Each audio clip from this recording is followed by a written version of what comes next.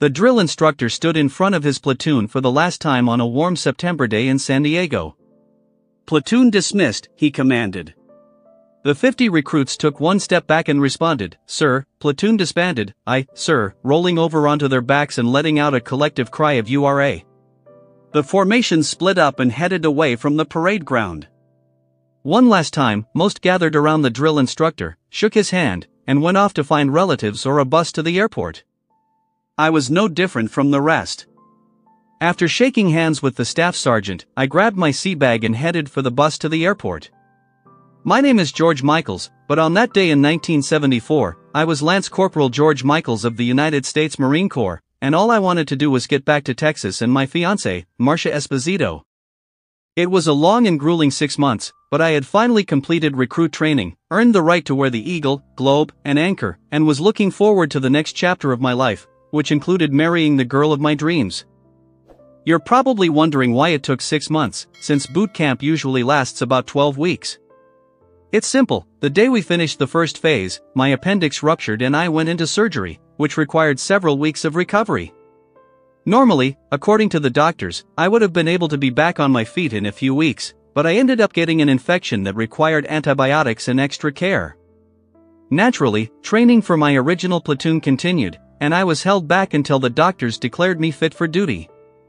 By the time I had recovered enough to continue training without further harming myself, almost three additional months had been added to my stay at MCRD San Diego. Yes, I am a Hollywood Marine. I was finally assigned to a new platoon and completed the grueling training course, earning the rank of top recruit. In addition to getting a set of dress uniforms, which in those days Marines usually had to buy out of their own pockets. I was also promoted to Lance Corporal and was honored to carry the platoon. Marcia and I wrote to each other as often as we could, and she often sent me pictures. Although, a month or two ago, the pictures stopped coming. However, some of the pictures did come in on what was called a hogboard. This was a corkboard set up in a compartment where recruits could post pictures of their wives or girlfriends, some of which were quite provocative. However, nudity was strictly forbidden before graduation. The recruits organized a contest for the best photo. Many of the pictures Marcia sent in showed her in a short dress or swimsuit, but some showed a little more of her flesh.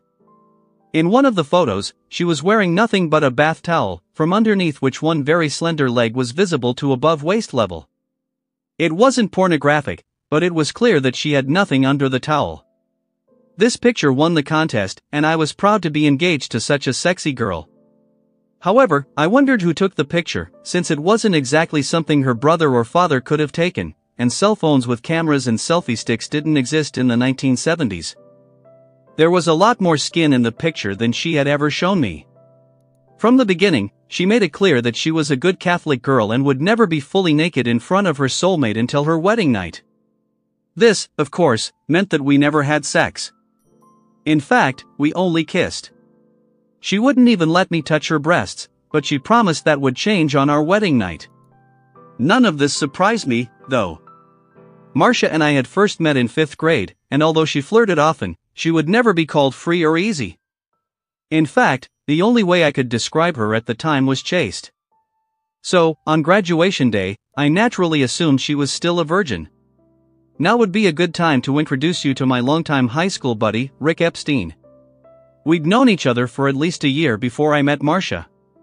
We pretty much did everything together fishing, camping, even sleeping over at each other's houses.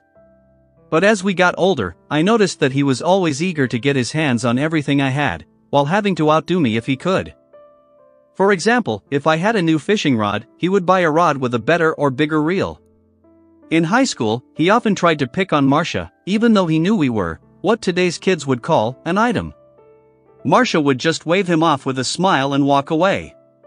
The day I left for camp, he walked me to the airport, telling me he would keep an eye on Marcia. I had no reason not to trust her, so I just shook his hand and said thank you. The plane finally landed at a small airport near our town, and since it was quite late in the evening, my parents drove me home so I could get a decent night's sleep. The first thing I did was call Marcia. I have a surprise for you, she said, giggling as she often did. I can't wait to see it, I told her. I'll come right after I visit the old school. We ended the conversation after talking to each other for over an hour. The next day, I wanted to brag about two things my uniform and my future wife. I put on my uniform, got in my pickup truck, and headed to my old school. After meeting my former principal and some teachers, I headed to Marcia's house. Marcia opened the door before I could even knock. Surprise, she exclaimed, you're going to be a daddy. What? I asked, shocked by her words. I immediately noticed that she was starting to show and her breasts were much larger than I remembered. She was definitely pregnant, but not with me. After all, I had been gone for almost six months and we had never once had sex, at her insistence. Are you out of your mind? I asked. You do realize we've never had sex, hell, I've never even seen you naked. So how the hell am I supposed to be a dad? Well, we're getting married, and since I'm the mom, you're going to be the dad, she said. What? You don't think I'm going to fall for that? I shouted. Tell me, and I want to know the truth, who's the father? You. I told you, she said. As soon as we get married, you're going to be the father. My mind went into overdrive. Surely, she wasn't that naive. Are you really that stupid, Marcia? We've never done anything, but you expect me to raise a child someone else gave you? Well, she began. Marcia, Marcia, Marcia. I said, mimicking a line from the Brady Bunch. Remember, the show first aired in 1969, and new episodes aired until March 1974. I took a deep breath and counted to 10. I loved Marcia, but I was beyond furious. I needed to know the truth. Tell me the truth, Marcia. Did you and Rick have sex while I was gone? I asked. She sat up and looked away, as if she was afraid to answer me. Well, just a few times, she finally said, but that was only because I loved you and missed you. It didn't really mean anything. How many times? I asked.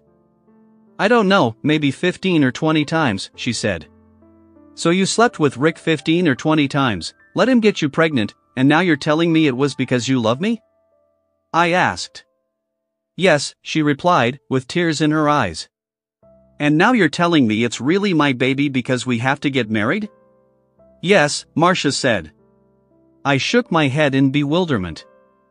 By this time, her father and brother had entered the front room.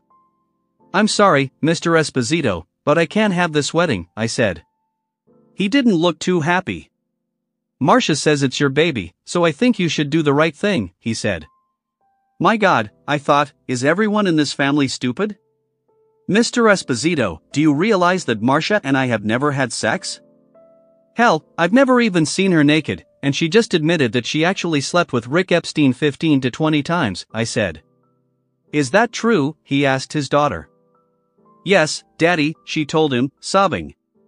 He looked at her like something the family dog had left in the yard. Damn it, he said, you're just as stupid as your mother. He looked at me with genuine sadness in his eyes. I'm so sorry, son. I didn't realize my daughter had inherited her mother's stupidity, he lamented. Are you sure you can't handle it?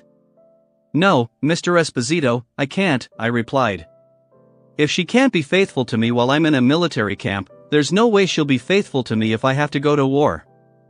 And I'm certainly not going to raise someone else's child. No doubt we'll only end up divorced.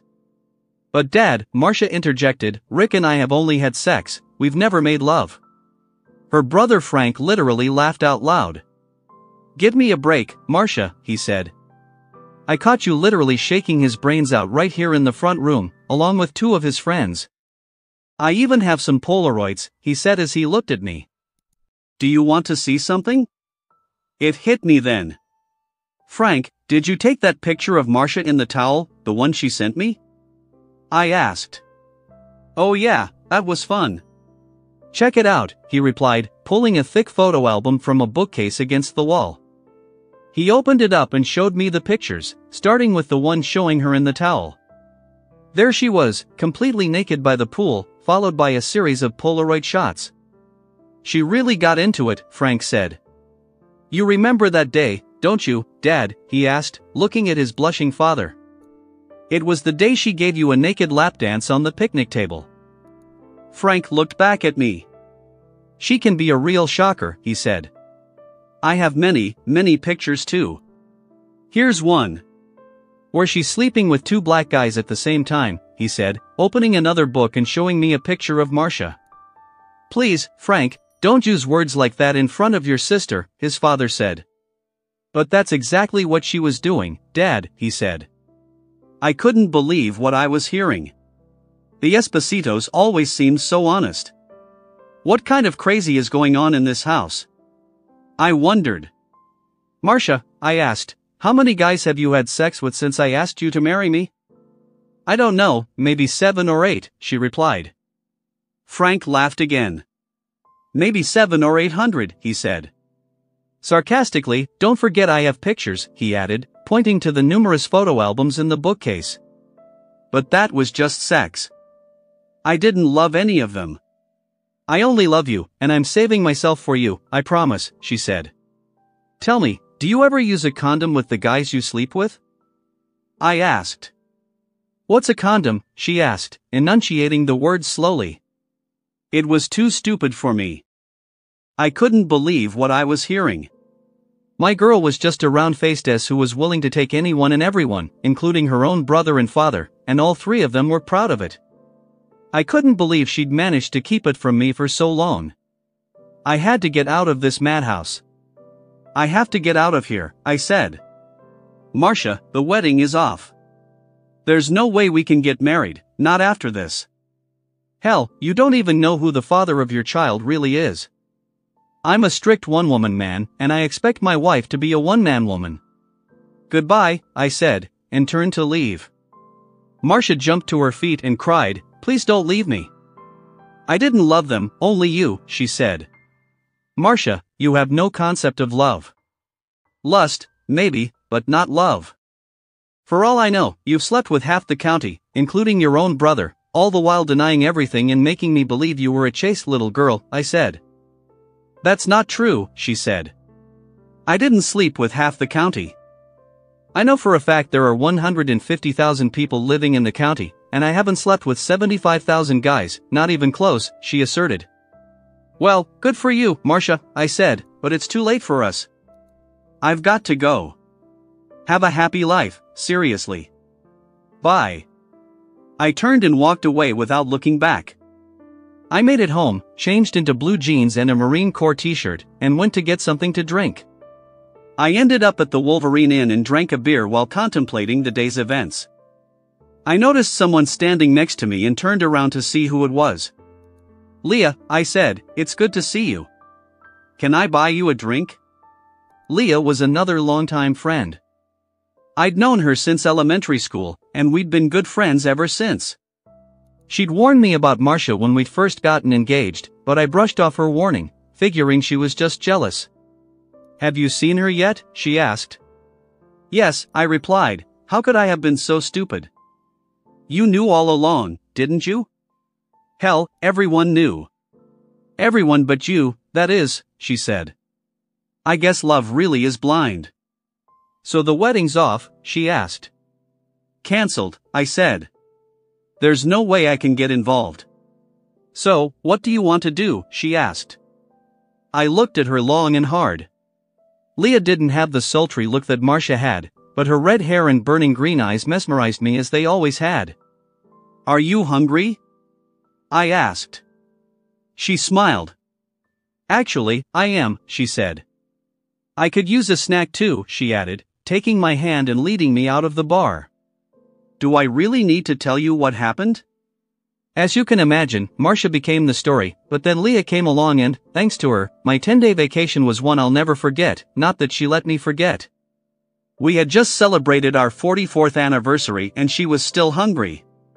Don't forget to hit that like button if you enjoyed this video, and if you're curious to see where this journey takes us next, make sure to subscribe and turn on notifications so you won't miss a single update. Your support is what keeps this channel alive and kicking, and every like, comment, and share means the world to us. We've got plenty more stories, insights, and surprises coming your way, so stay tuned for the next video. Thanks for watching, and I'll see you in the next one.